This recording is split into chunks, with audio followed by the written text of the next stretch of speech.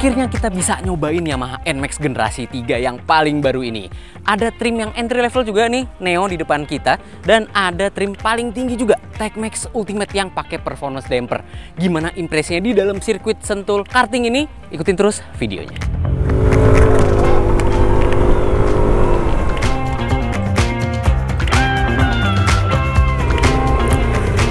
Oke, karena ini ada berbagai seri, jadi kita nyoba yang Neo dulu.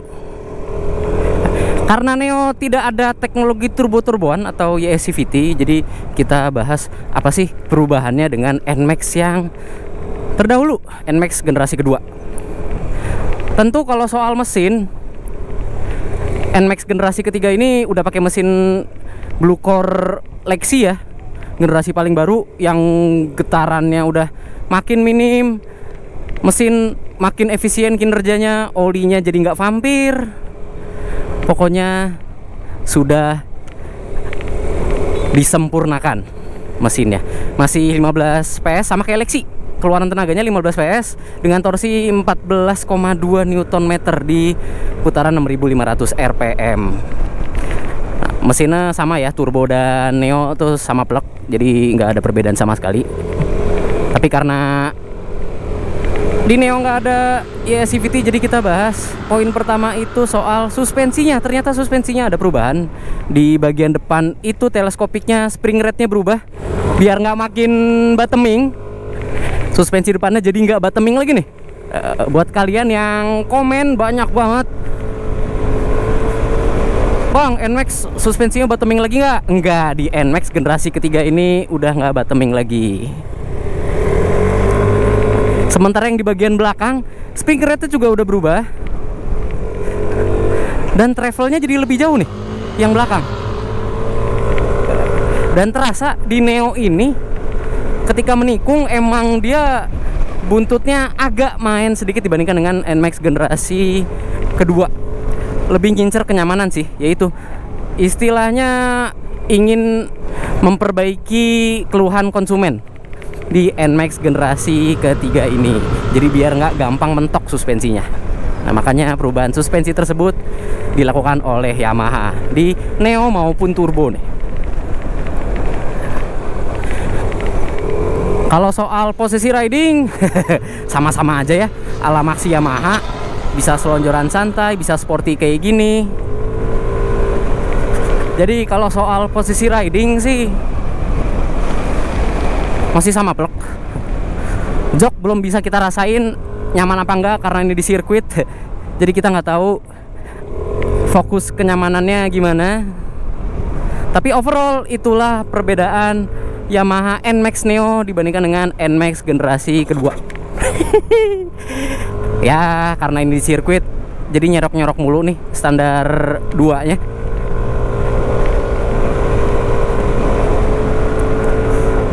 oke itulah kesimpulannya untuk Yamaha NMAX Neo. Sekarang coba kita tukeran motor nih sama NMAX Turbo. Kenapa jadi kayak omong bertopeng? Nadanya.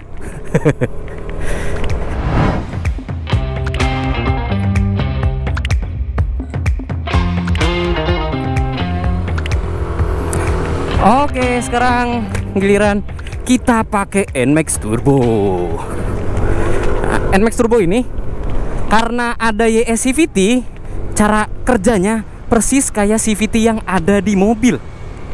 Jadi ada fitur triptoniknya nih. Bedanya fitur triptoniknya ini kalau di mobil itu kan ada dua tombol lah, pedal shift. Turun naik. Kalau ini tombolnya cuma satu aja. Uh, cuma tombol shift gitu aja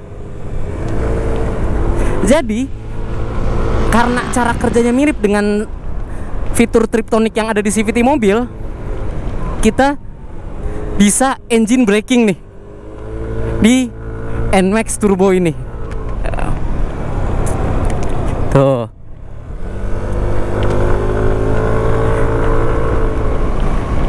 Nih ya belokan kita engine braking. Tuh. Terus biar dapat efek boostnya, setelah engine braking kita pencet tombol mode yang di depan. biar CVT-nya ngelos lagi.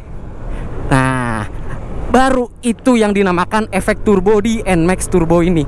Jadi setelah nih dibelokan, engine braking, pencet shift dua kali, terus tombol mode ngelepas CVT biar ngelonggar lagi.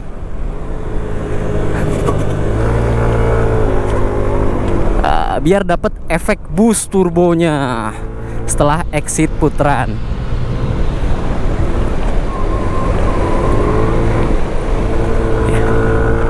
Itulah cara kerja YE CVT. Jadi kesimpulannya sama persis dengan yang ada di mobil CVT kalian di rumah.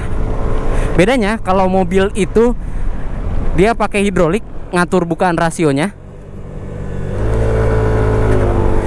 Sementara kalau YE CVT ini ngatur bukaan rasionya pakai gear elektronik eCVT dari Yamaha.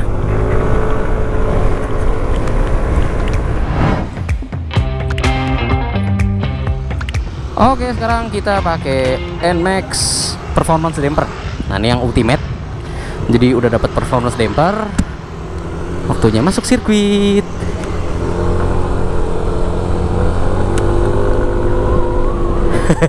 berasa banget ya. Nah, ini udah beberapa kali belokan langsung berasa banget perbedaan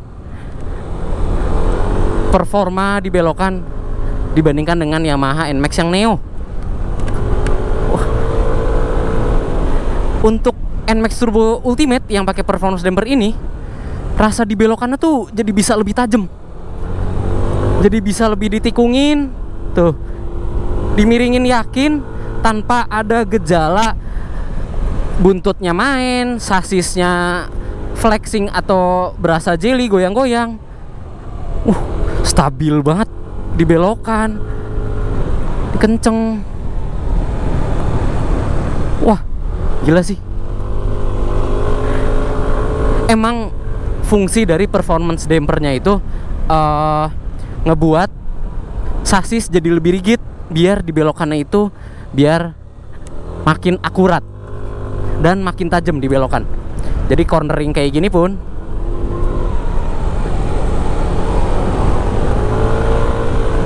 itu masih aman-aman aja. Nggak ada gejala geter sama sekali buntutnya. Wah emang ngaruh banget ternyata performance dampernya. Tuh.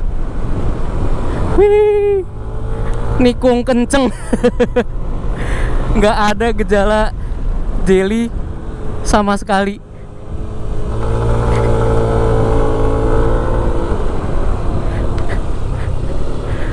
Oke, jadi itu dia perbedaan dari NMAX Neo, NMAX Tech Max, terus NMAX Tech Max yang Ultimate. Ah, asik juga. Eh, jadi emang bener-bener ngaruh banget ya performance damper bukan cuma sekadar nambah 2 juta tapi nggak ada perubahan apa-apa. Ini perubahannya signifikan banget ketika dibelokan maupun high speed. Jadi itu dia impresi pertama kami soal Yamaha NMAX generasi ketiga ini. Jadi turbonya itu bukan gimmick sama sekali. Memang bahasa marketing aja turbo. Sebenarnya turbo itu lebih ke boost pada rasa dari YE CVT-nya. Nah, sementara YE CVT-nya itu berguna banget untuk engine braking maupun untuk akselerasi. Tapi tolong jangan disalahartikan kalau YSCVT itu untuk mencari top speed karena YSCVT itu ya tadi seperti yang dijelaskan itu fungsinya sama kayak kalau misalkan kita analogikan kayak triptonic yang ada di mobil atau tombol overdrive yang ada di mobil Matic. Tambahan info lagi soal YSCVT-nya karena masih banyak yang salah kaprah soal tombol shift yang ada di NMAX Turbo ini. Banyak yang masih mengira kalau tombol shift ini tuh selayaknya tombol boost atau tombol NOS yang ada di game-game atau di film-film. Ketika kita pencet langsung gas langsung kenceng tiba-tiba NMAX -nya. enggak enggak kayak gitu sebenarnya persepsinya melainkan tombol shift ini tuh rasanya lebih ke arah downshift lebih ke arah turun gigi. Karena kalau misalkan kita analogikan ke motor kopling turun gigi itu kan pasti RPM jadi lebih tinggi. Nah RPM yang lebih tinggi tenaganya jadi lebih tersedia di awal. Jadi momentum tersebut bisa kita gunakan untuk susul menyusul dan untuk tanjakan juga. Dan kenapa gue bilang di sini tombol shift itu lebih ke arah downshifting atau turun gigi? Karena tombol shift ini juga berguna waktu engine braking seperti yang gue contohkan pas gue tes ride di dalam sirkuit go-kart ini.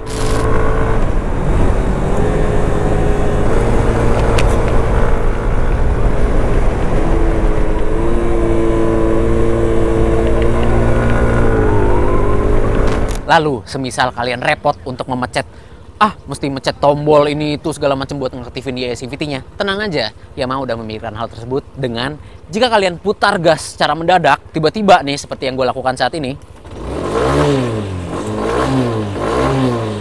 itu langsung otomatis ke mode shifting yang pertama. Jadi kalian nggak perlu mencet tombol ini itu untuk mengaktifkan YSCVT-nya. Dan kalau kita simpulkan, setelah kita rasakan Yamaha NMAX Neo itu lebih cocok untuk kalian yang masih mencari kenyamanan di motor Yamaha NMAX yang jadi benchmark dari Maxi Yamaha di Indonesia. Motor Maxi Yamaha yang paling populer itu masih bisa kalian rasakan kenyamanannya di Yamaha NMAX yang Neo. Sementara untuk yang Yamaha NMAX Turbo itu buat kalian yang ingin merasakan bagaimana sensasi berkendara dari transmisi yang rasio bukaan itu bisa kalian atur sendiri. Nggak bergantung sama gaya sentrifugal dari roller CVT lagi. Sementara untuk Techmax Ultimate itu buat kalian yang ingin mencari rasa kenyamanan dari sebuah Maxi Yamaha tapi ingin mendapatkan performa di tikungan yang lebih mantep lagi. Lalu saat kita melakukan proses syuting saat ini ya di Sentul Karting Circuit, kita udah ngepost beberapa teaser di Instagram Autonet Max dan banyak banget komentar yang orang-orang tuh masih penasaran nih sama beberapa hal yang ada di Yamaha NMAX generasi ketiga ini. Uh, sambil gue buka HP, sambil kita baca komentar-komentar nih ya, ada beberapa yang gue baca, ada yang nanya nih soal mode berkendaranya. Nah, bedanya apa sih sama uh, shiftingnya? Apakah mode berkendaranya itu ngaruh ke remap mesin atau cuma di CVT-nya aja? Jadi ternyata untuk mode berkendara S sama T-nya itu, itu tuh uh, ngerubah mapping yang ada di mesinnya. Jadi ngerubah ECU itu untuk ketika kita mencet tombol mode. Sementara untuk tombol shiftingnya itu baru ngerubah mode CVT-nya, ngerubah bukaan rasio yang ada di CVT-nya. Jadi tolong bedain untuk mode itu ngerubah mapping mesin, sementara untuk tombol shiftingnya itu ngerubah rasio bukaan transmisi CVT. Komentar kedua yang juga rame nih ditanyain sama netizen di Instagram kita yaitu soal efek engine brake. Apakah bisa dilakukan di YS CVT ini seperti yang tadi gue jelaskan saat gue berkendara, yes, bisa banget untuk kalian manfaatkan. Jadi kalau misalkan di Matic konvensional ya CVT yang konvensional itu kan biasanya kalian susah banget untuk melakukan engine braking uh, kalau kalian memakai motor yang CVT-nya masih konvensional. Tapi berkat adanya YS CVT ini, kalian bisa mengatur bukaan rasio sehingga engine braking itu bisa kalian lakukan di NMAX generasi terbaru nih. Jadi soal kenyamanannya dapat, keamanannya dapat, performanya juga dapat. Ada lagi yang penasaran soal performance dampernya. Ngaruh apa enggak sih bang? Ya elah, tadi juga udah gue jelasin di akhir-akhir sesi test ride. Performance dampernya itu ngaruh banget ternyata. Kalian nambah 2 juta, itu bukan cuma omong kosong. Itu bener-bener rasanya lebih rigid. Belokan tuh lebih akurat, belokan lebih bisa tajam Pokoknya dibandingkan dengan Neo ya, bahkan dengan Turbo Tech Max yang nggak ada performance damper sama sekali, rasa belokan itu lebih akurat jika kalian menggunakan performance damper karena nggak ada rasa sasis yang flexing, sasis yang jelly gitu nggak ada sama sekali ketika kalian menggunakan performance damper. Pokoknya efek dari performance damper yang paling berasa itu ketika kalian ngebut di tikungan, itu kalau kita bandingin ya sama NMAX Neo, motor tuh berasa wobble, goyang banget ke sana kemari bagian buntutnya. Tapi ketika pakai performance damper itu rasa wobble itu hilang seketika nggak ada getar sama sekali nggak ada gejala goyang-goyang ketika tikungan kenceng untuk yang Techmax Ultimate ini itulah hasil dari riset bersama dengan Lexus jadi Yamaha emang kerjasama sama Lexus untuk membuat performance damper bagi motor dan juga mobil-mobil yang ada di Lexus dan pastinya ada aja yang komentar soal konsumsi bensinnya. Padahal kita ngetesnya di dalam sirkuit ya. Jadi tolong ini jangan jadi patokan konsumsi bahan bakar untuk Yamaha NMAX generasi terbaru ini. Karena gue makanya tadi cukup ugal karena ya di dalam sirkuit gitu loh. Kita kan fokus untuk memaksimalkan performa yang ada di Yamaha NMAX. Jadi sekarang kita lihat aja berapa konsumsi bahan bakar setelah kita gaspol rem, ugal-ugalan segala macam dan ternyata setelah menempuh jarak 34,3 km hasil average fuel consumption itu ada di 33 km per liter. Ya emang bukan hasil yang maksimal juga karena ini kan dalam sirkuit. Jadi kondisinya tolong jangan disamakan dengan kondisi yang ada di luar sirkuit atau di jalanan asli. Mak jreng. Wah, ini kenapa kita ganti motor? Karena ternyata yang di Tech Max Turbo ini konsumsi bahan bakarnya lebih bagus padahal dia sudah menempuh jarak hingga 166 km. Nih. Jadi jarak tersebut konsumsi bahan bakarnya itu bisa mencapai 35,4 km per liter. Lebih tinggi dibandingkan yang tadi. Tapi ini kondisinya pun sama, masuk sirkuit juga, bahkan sentul sirkuit yang gede tuh, bukan yang karting sirkuit. Dan sudah menempuh ratusan kilometer juga, didapatkan hasilnya yaitu 35,4 km per liter. Jadi hasilnya lebih bagus di Tech Max Turbo ini. Tapi tolong lagi-lagi jangan jadi patokan untuk kalian bandingin sama motor yang ada di rumah kalian. Karena ini kondisinya masuk ke sirkuit, bukan kondisi yang real di jalan raya. Oke, pertanyaan selanjutnya yang paling sering ditanyain waktu komentar di Instagram kita yaitu bagasinya. Oke, sekarang kita buka aja bagasinya karena di impresi pertama kita nggak bahas soal bagasinya yang berkapasitas 25 liter. Dan dari tadi udah gue masukin helm modular gue yang full face. Nah, jadi masuk ya untuk yang full face modular kayak gini. Tapi ini batoknya masih kecil dan mesti dibalik naronya biar bisa muat tanpa perlu neken usaha. kita buka lagi. Sekarang kita coba masukin helm yang full face. Enaknya ada stopper juga nih. Hmm, jadi enak nggak ngondoing-ngondoing Tuh, enak. Tuh, balik lagi. Sekarang kita tukar sama helm full face. Ya, sekarang kita megang helmnya kameramen nih gaya banget kameramen pakai helm Nolan ini udah kalian ya pasti udah beberapa udah ada yang tahu kalau Nolan itu batoknya emang tebel banget gede untuk memenuhi standarisasi ECE, DOT dan segala macamnya. Sekarang kita posisinya masukin sama dengan yang tadi half-face modular. Nah, apakah muat apa enggak? Kayaknya nggak muat ya karena nongol. Kita masukin dulu coba.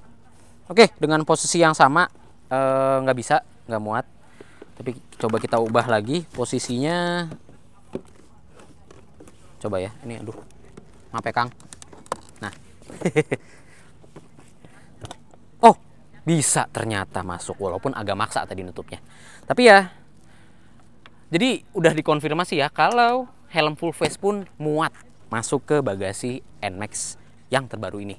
Sebesar 25 liter. Jadi kalau untuk sekadar kalian tinggalin ya di mall, mau masukin helm aja, nggak perlu bawa-bawa helm ke mall, tinggal masukin ke bagasi NMAX itu bisa.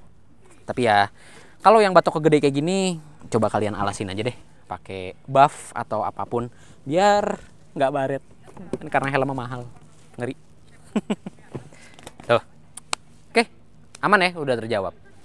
Pertanyaan terakhir yang sering ditanyain oleh netizen di Instagram kita Gimana kalau buat boncengan bang, NMAX terbaru? Nah sekarang kita editor masuk. Kita sekarang mau ngetes. Kalau boncengan gimana posisinya dan suspensinya. Nah. Oke, pasti yang pertama ditanyain soal ngangkangnya. Nah, ngangkang nggak Kang?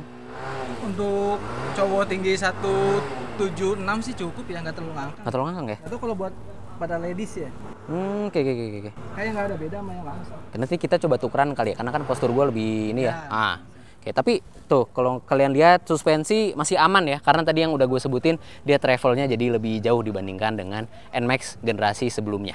Nah sekarang coba kita tukeran. Ya jadi biar postur gue yang merepresentasikan mayoritas orang Indonesia. Apakah ngangkang duduk di NMAX ini? Oh ternyata enggak. ternyata enggak karena nih yang kita temuin ya lekukan body yang pas di belakang betis gue ini nih itu pas banget bikin kaki kita nggak ngengkang jadi potongannya pas ngebuat kaki kita nyaman-nyaman aja. Walaupun kelihatannya bodinya bongsor. Oke sih. Jadi udah direvisi ya oleh Yamaha soal wah ini boncengers bakal ngengkang nih duduk di belakang. Enggak sekarang di NMAX generasi terbaru ini boncengers aman-aman aja nih kakinya. Kayaknya buat jalan jauh nyaman nih. Dan sebenarnya setelah tadi gue melakukan sesi test ride di dalam sirkuit go-kart ini, gue menemukan ada sedikit sebenarnya bukan kekurangan tapi kayak hal mengganggu aja di Yamaha NMAX Turbo yang terbaru ini. Yaitu soal posisi tombol shiftnya ini nih. Tadi beberapa kali gue uh, salah mencet. Yang gue kira mencet tombol shift ternyata malah jadi mencet tombol klakson. Karena ya kita biasanya tombol paling bawah itu kan klakson ya. Sekarang tombol paling bawah shift jadi ketika kita pengen mencet shift malah kepencet yang klaksonnya tapi setelah beberapa kali muter setelah beberapa kali lap itu ya jadi biasa-biasa aja akhirnya kita bisa beradaptasi pakai tombol shifting di sini nggak pakai salah-salah lagi mencet tombol klakson. Oke, jadi itu dia impresi berkendara pertama kami mengenai Yamaha NMAX generasi terbaru ini. Walaupun emang cuma sekadar dalam sirkuit aja, tapi ya udah kalian kebayang lah ya dikit-dikit. Jadi next mungkin akan kita bawa lebih jauh dikit. ya itulah impresi pertama kita soal yang namanya turbo di NMAX generasi terbaru. Jadi sebenarnya ya itu bahasa marketing tapi nggak gimmick-gimmick banget karena ternyata berfungsi bener kalau kita tahu cara mengoperasikannya. Tahu gimana cara momennya tahu gimana momen engine braking dan momen ketika lepas CVT lewat tombol modenya itu bakal berasa banget boost dari YE CVT-nya nah, itulah yang dinamakan turbo oleh Yamaha jadi bukan turbo yang pakai force induction ya bukan langsung ke mesin tapi sensasi turbo ala-ala boost jadi dengan harga yang tertera di bawah sini berserta variannya, kalian pilih yang mana nih? Mending yang ini, mending yang itu, komentar aja di bawah. Oke, jika kalian suka dengan konten ini, klik like, subscribe, dan tekan lonceng untuk mengetahui video seru selanjutnya dari Outright Max. Tapi sebelum gue menghentikan video ini, enaknya apa kita bandingin kedua motor ini? Gimana menurut kalian? Tungguin nggak? Komentar aja di bawah.